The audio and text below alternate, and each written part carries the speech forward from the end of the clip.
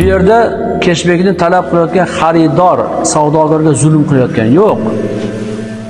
Har bir savdo molini keshbekka urish kerak, kasbiy apparatdan o'tish kerak deb qonun chiqarganlar zulm qilyapti. Keshbekni o'ylab topganlar tadbirkorlarga zulm qilayotganini aytgan Imom Xatib ishdan olindi. Toshkentdagi Imom Termiziy masjidi Imom Xatibi Isoqjon Begmatovning Keshbekni o'ylab topganlar xalq va tadbirkorlarga zulm qilmoqda degan fikri e'tirozlarga sabab bo'ldi. Musulmonlar idorasi bu fikr orqali jiddiy xatoga yo'l qo'yilgani, imom oldin ham ogohlantirishlar olgani uchun uni ishdan bo'shatdi. Ijtimoiy tarmoqlarda xalq orasida Isoqjon domla nomi bilan tanilgan Toshkent shahridagi Imom Termiziy jome masjidi imom xatibi Isoqjon Begmatovning keshbek olish va soliq solish to'g'risidagi gapirgan videosi tarqaldi. Xaridor zulm yo'q unga.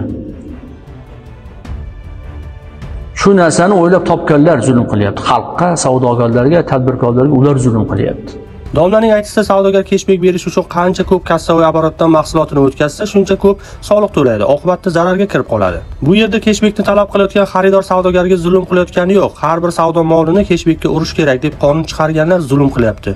Shu narsani o'ylab topganlar xalqqa, savdogarlarga, tadbirkorlarga zulm qilyapti. Solig'ini haddan tashqari oshirib yuborgan degan u. Komissiya avval ham ushbu imom xatibning mana shunday chiqishlarini bir necha bor ko'rib chiqib, uni jiddiy ogohlantirgan edi. Afsuski, bunday holatlar yana takrorlanishda davom etdi.